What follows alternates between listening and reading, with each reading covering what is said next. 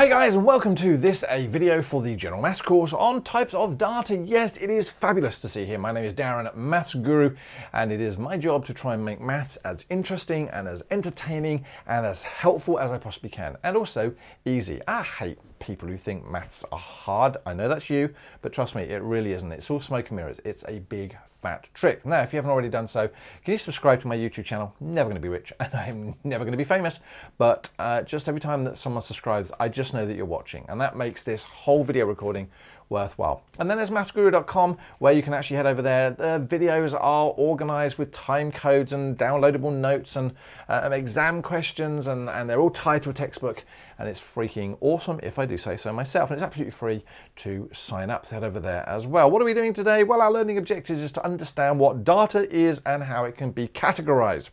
We're going to look at what a variable is and also a constant. And then we're going to look at the idea of what categorical data is and what numerical data is as well. And each of those can be then subdivided. Sound confusing? Promise you it really, really isn't. Now, why is this important?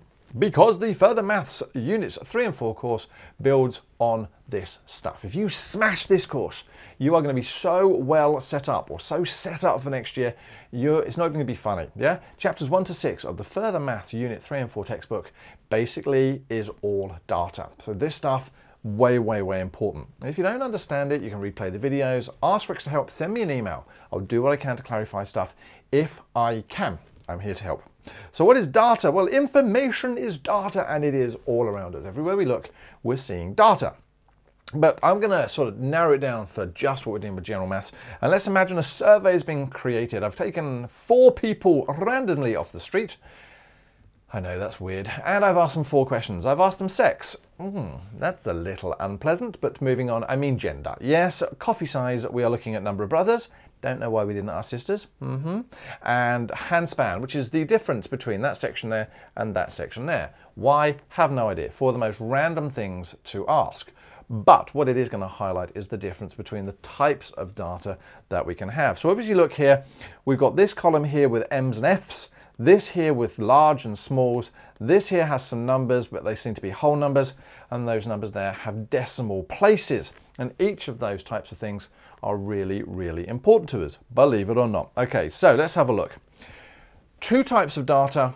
We have categorical data and numerical data. Let's look at categorical data first, which is things like eye color and coffee size and gender.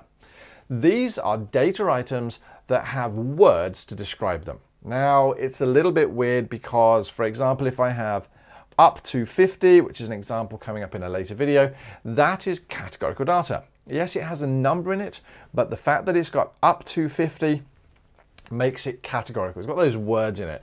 My responses of male and female, large and small, categorical data.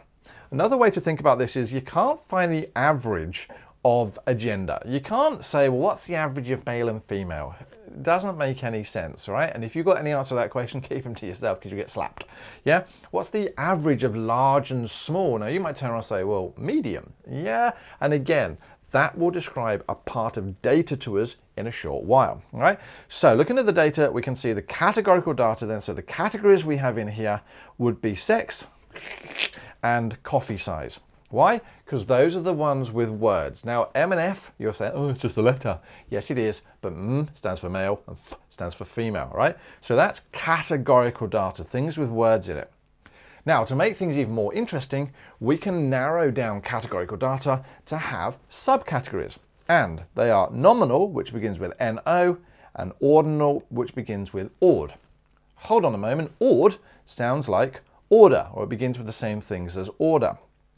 Now, in that sense, there are certain words that we can use that almost imply that there is an order, that we can put them in some sort of order.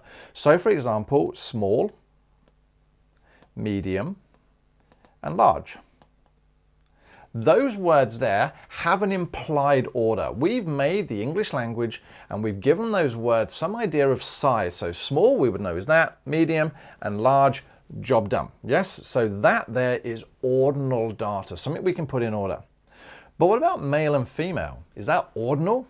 Are males more important than females? Careful, Are females more important than males? Well, Beyonce seems to think so because they're going to run the world. And trust me, that's more than likely, and go girl, go girl.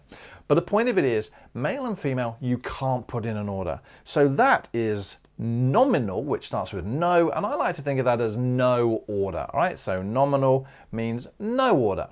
So you're going to have to keep these. Now there are tricks to this, and unfortunately there are stupid ones as well. So believe it or not, postcodes.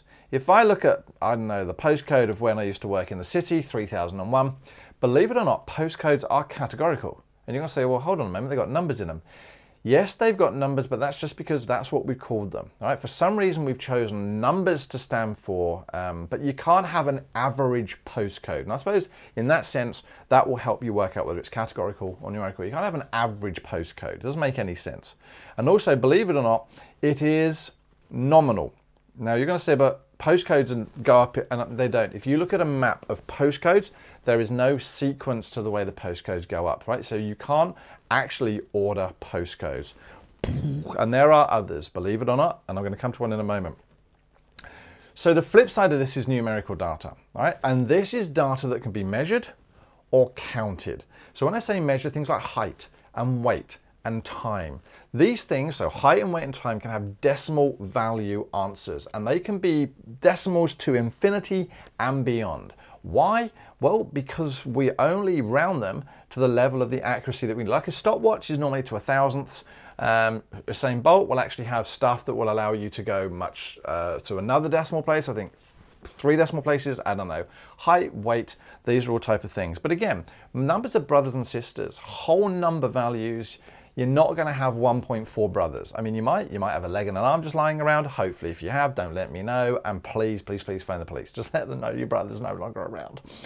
But things like numbers of brothers and numbers of eggs and number of people, these are whole number of values, right? So this is numerical data.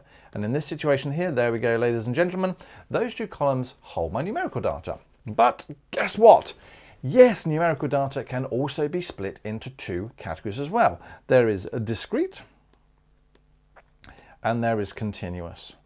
Now, sadly, guys, I haven't yet thought of a good and entertaining way to make this tie into the data. So if you've got one, let me know. Leave a comment below. Really, really appreciate it. But what is discrete data? Well, basically, discrete data takes whole number values. Now, again, I don't particularly like that because believe it or not, shoe sizes are also discrete data. And you're going to say, well, hold on a moment, shoe sizes have 7.5. They do, but again, that's not a decimal number in the sense of we could have a 7.5132 shoe. For some reason, someone's just said, oh, we need a shoe size between 7 and 8, and we'll call it a 7.5. But it's you cannot get a 7.3 shoe. You cannot get a 7.8 shoe.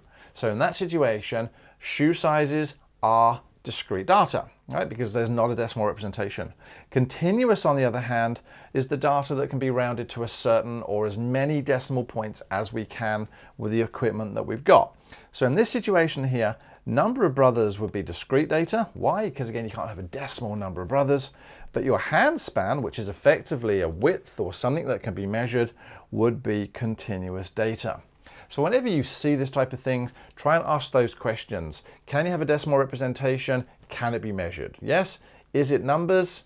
Is it ordinal? Is it nominal? These type of thing. And it'll take practice. There are questions in any textbook that will help you to do this. And believe it or not, ladies and gentlemen, that is the end of this video. Thank you so much for watching. Hopefully you found it useful. If you have, tell your mates. I want to do as much as I can to help everyone out there to have make sense of the maths. Yeah. But otherwise, I'm going to call it a day. Thank you very much for watching. My name is Darren Maffs Guru. It's been really good to see you. Click, like, subscribe, head to Maffs Guru.